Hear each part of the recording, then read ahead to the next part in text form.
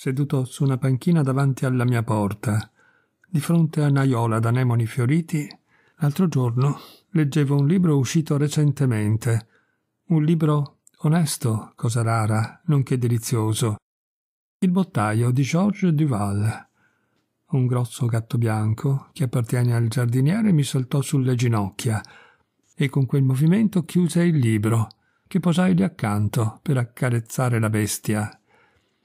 Faceva caldo, un odore di fiori appena sbocciati, odore timido ancora, intermittente, leggero, indugiava nell'aria, dove passavano anche a intervalli brividi freddi provenienti dalle grandi cime candide che vedevo in lontananza. Ma il sole era ardente, pungente, uno di quei soli che frugano la terra e la fanno rivivere, che spaccano i semi animando i germi addormentati e le gemme perché si aprano le foglie giovani. Le zampe in aria il gatto si strusciava sul dorso, mostrando sotto le labbra i denti acuti e gli occhi verdi nella fessura quasi chiusa delle palpebre. Accarezzavo e palpavo la bestia, morbida e nervosa, liscia come una stoffa serica, dolce, calda, soave e pericolosa. La bestia estasiata faceva le fusa, pronta a mordere, poiché essa ama tanto graffiare quanto essere carezzata allungava il collo con un movimento ondulato e quando smettevo di accarezzarla rialzava e spingeva la testa sotto la mia mano alzata. La snervavo ed essa snervava me, poiché io li amo e li abborro, questi animali belli e perfidi. Provo piacere a toccarli, a far scorrere sotto la mano il loro pelo morbido che fruscia, a sentire il loro calore fra quel pelo, in quella pelliccia fina e squisita. Non c'è nulla di più dolce, nulla che dia alla pelle una sensazione più delicata, più raffinata, più rara del pelo tepido e vibrante di un gatto. Ma questa pelliccia vibrante mi mette nelle dita una strana e feroce tentazione di strangolare la bestia che accarezzo. Sento in essa il desiderio che ha di mordermi e di lacerarmi la carne, e come un fluido comunicatomi dall'animale, Prendo questo desiderio con la punta delle dita affondate nel pelo morbido e lo sento salire, salire lungo i miei nervi, lungo le membra, fino al cuore, alla testa. Sento che mi invade, corre lungo la pelle, fa serrare i miei denti. E sempre, sempre, sulla punta delle mie dita, sento il solletico vivo e leggero che mi penetra e mi invade. E se la bestia si muove, se morde, se graffia, l'afferro pel collo, la faccio roteare e la lancio lontano come il sasso d'una fionda. E tutto avviene così in fretta e così bruscamente che l'animale non ha il tempo di vendicarsi. Mi ricordo che quando ero ragazzo amavo già i gatti con gli stessi improvvisi desideri di strangolarli con le manine, e che un giorno, sul limite tra il giardino e il bosco, scorsi qualcosa di grigiastro che si rotolava fra l'erba alta Andai a vedere. Era un gatto preso al laccio, strangolato, rantolante, moribondo. Si torceva, scavava la terra con gli artigli, saltava, ricadeva inerte, poi ricominciava, e il suo respiro rauco, affrettato, faceva il rumore di una tromba d'acqua in azione, un rumore orribile che io sento ancora. Avrei potuto prendere una vanga e tagliare il laccio, avrei potuto andare a cercare il servitore o avvisare mio padre. No, io non mi mossi, e col cuore che mi batteva lo guardai morire in una gioia fremente e crudele. Era un gatto. Se fosse stato un cane avrei spezzato il filo di rame coi miei denti piuttosto di lasciarlo soffrire un secondo di più. E quando il gatto fu morto, proprio morto, ancor caldo, andai a tastarlo e a tagliargli la coda.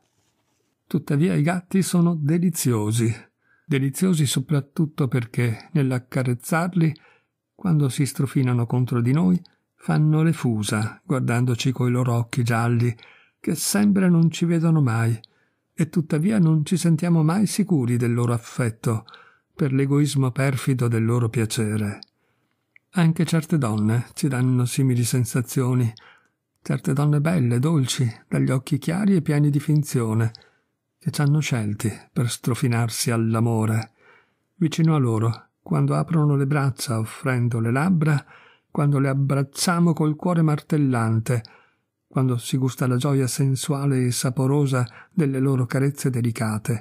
Si sente benissimo che si ha vicino una gatta, una gatta con artigli e zanne, una gatta perfida, sorniona, amante e nemica amorosa, che una volta stanca di baci ti morderà. Tutti i poeti hanno amato i gatti. Baudelaire li ha cantati divinamente. È noto il suo mirabile sonetto. Tanto i fervidi innamorati che gli austeri sapienti amano nell'età matura i gatti possenti e morbidi, orgoglio della casa, che al pari d'essi sono frettolosi e al pari d'essi sedentari. Amici della scienza e della voluttà, cercano il silenzio e l'orrore delle tenebre. L'erebo li avrebbe presi come suoi corsieri funebri, se essi potessero piegare al selvaggio la loro fierezza. Sognando, essi prendono i nobili atteggiamenti delle grandi sfingi accosciate al limite delle solitudini, che sembrano addormentarsi in un sogno senza fine. I loro fianchi fecondi sono pieni di scintille magiche e auree particelle come una sabbia minuta, stellano vagamente le loro pupille mistiche. Un giorno ho provato la sensazione d'aver abitato il palazzo incantato della gatta bianca, un magico castello dove regnava una di queste bestie curviline, misteriose e seducenti, il solo forse di tutti gli esseri che non si oda mai camminare. Fu l'anno scorso, su questa stessa spiaggia del Mediterraneo. A Nizza faceva un caldo atroce e allora mi informai se per caso nella montagna sovrastante non ci fosse qualche valle fresca dove si potesse andare a respirare. Mi indicarono quella di Torenk. Volli vederla. Bisognò innanzitutto andare a Grasse, la città dei profumi, della quale parlerò un giorno o l'altro, raccontando come vi fabbrichino quelle essenze di fiori che costano sino a quattromila franchi il chilo. Vi passai la serata e la notte in un vecchio albergo cittadino, mediocre albergo, dove la qualità dei cibi è sospetta, come la pulizia delle camere. Ripartii la mattina seguente. La strada si inoltrava in piena montagna costeggiando burroni profondi ed era dominata da picchi sterili, aguzzi, selvaggi. Mi domandavo qual bizzarro soggiorno estivo mi fosse stato indicato e quasi m'accingevo a tornare per raggiungere Nizza la notte stessa, quando davanti a me, su un monte che sembrava sbarrare tutta la valle, scorsi improvvisamente un immenso e ammirevole rudere che profilava sul cielo torri e mura crollate, tutta una bizzarra architettura di cittadella morta. Era un antico fortilizio dei Templari, che in passato governava il paese di Torenk girai attorno a quel monte ed improvviso si offerse al mio sguardo una lunga valle verde, fresca e riposante. In fondo prati, un'acqua corrente, dei salici e sul versante abeti sino al cielo. Di rimpetto al fortilizio, dall'altro lato della valle ma più in basso, si eleva sui campi un castello abitato, il castello delle quattro torri, che fu costruito verso il 1530 ma non reca alcuna traccia della rinascenza. È una massiccia e forte costruzione quadrata, d'un carattere possente, fiancheggiata da quattro torri di guerra, come dice il suo nome. Avevo una lettera di raccomandazione per il proprietario di quel castelletto, il quale non mi permise di andare in albergo. Tutta la valle, davvero silenziosa, è uno dei soggiorni più belli che si possano sognare. La percorsi in lungo e in largo fino a sera, poi, dopo aver pranzato, salì nell'appartamento destinatomi. Attraversai innanzitutto un salotto, le cui pareti erano coperte di un vecchio cuoio di Cordova, poi un'altra stanza dove, alla luce della candela, scorsi fuggevolmente sulle pareti alcuni vecchi ritratti, dei quali Teofil Gautier ha detto Mi piace vedervi nelle vostre cornici ovali, ritratti ingialliti delle belle d'un tempo remoto, che in mano tenete rose un po' pallide, come s'addice a fiori centenari. Infine entrai nella camera da letto. Quando fui solo la ispezionai. Era tappezzata di antichi parati, nei quali si vedevano torrioni rosei in uno sfondo di paesaggi azzurri e grandi uccelli fantastici sotto larghe foglie di pietre preziose. Lo spogliatoio era in una delle torrette. Le finestre, larghe all'interno, strette nell'uscire alla luce, attraversavano tutto lo spessore dei muri. Non erano insomma che feritoie, aperture dalle quali s'uccidevano i nemici. Chiusi la porta, andai a letto e m'addormentai. E sognai. Si sogna sempre un po' di quello che è avvenuto durante il giorno. Viaggiavo Entravo in un'osteria, dove a tavola davanti al fuoco vedevo un domestico in sontuosa livrea e un muratore. Bizzarra associazione, della quale non mi stupivo.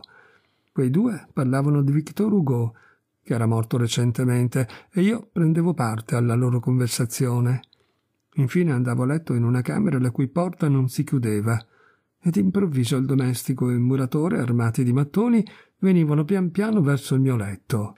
Mi svegliai bruscamente e occorsero alcuni istanti perché mi raccappezzassi. Poi ricordai gli avvenimenti del giorno prima, l'arrivo a Torenk, la cortese accoglienza del castellano. Stavo per richiudere le palpebre, quando nell'ombra, nell'oscurità, in mezzo alla camera, pressappoco all'altezza di una testa d'uomo, vidi, sì, vidi due occhi di fuoco che mi guardavano. Presi un fiammifero e mentre lo sfregavo udii un fruscio, un fruscio leggero, un fruscio morbido come la caduta d'un panno umido, e quando accesi il lume non vidi altro che una gran tavola in mezzo alla camera. Mi alzai, ispezionai le due stanze, guardai sotto il letto, negli armadi. Nulla. Così pensavo d'aver continuato il mio sogno dopo essermi svegliato e mi riaddormentai senza difficoltà. Sognai nuovamente anche questa volta viaggiavo, ma in Oriente, nel paese che amo, e giungevo in casa d'un turco che abitava in pieno deserto. Era un turco imponente, non un arabo, no, un turco grosso, cortese, simpaticissimo, vestito da turco, col turbante e indosso tutto un assortimento di seterie. Un vero turco da Théâtre Françoise, che mi faceva un mucchio di cerimonie offrendomi alcune marmellate su un divano delizioso. Poi un negretto mi conduceva nella mia camera. Tutti i sogni finivano dunque così. Una camera azzurra, profumata, col pavimento coperto di pelli d'animali, e davanti al fuoco, l'idea del fuoco mi perseguitava dunque fin nel deserto, su una sedia, una donna succintamente vestita che mi aspettava.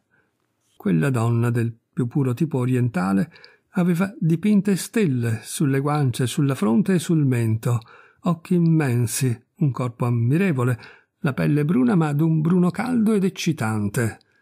Mi guardavo e pensavo ecco come comprendo l'ospitalità. Non è certo nei nostri stupidi paesi del nord, i nostri paesi di netto pettegolezzo, di pudore odioso, di morale imbecille, che si riceverebbe così uno straniero. Mi avvicinai e le parlai ma lei mi rispose con cenni perché non sapeva una parola della mia lingua, che il turco suo padrone parlava così bene.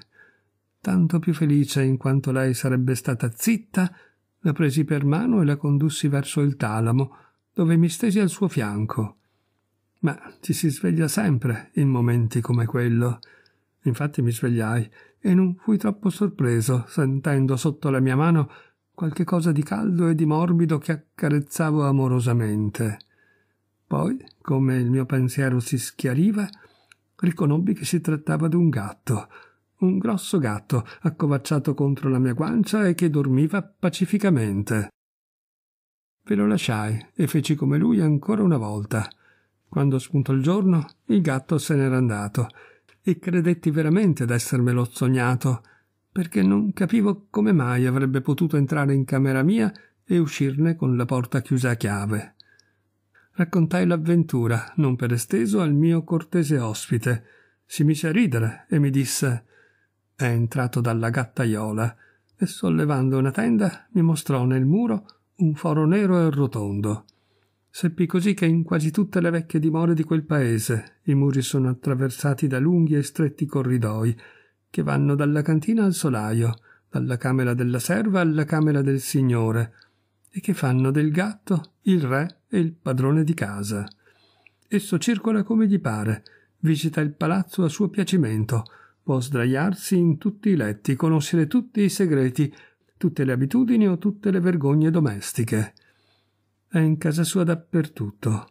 Può entrare dovunque, questo animale che scivola via senza rumore, questo silenzioso vagabondo, questo notturno passeggiatore dei muri forati.